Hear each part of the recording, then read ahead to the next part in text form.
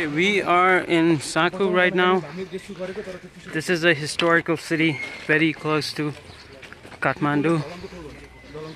As you can see right now, the devastation.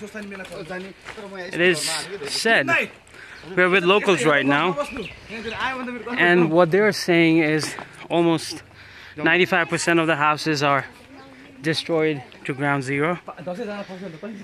And uh, the way in the city and out the city is completely blocked.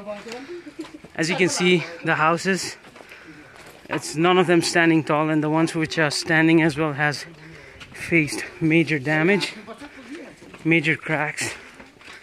So another earthquake probably of 4.5 magnitude and everything is gone.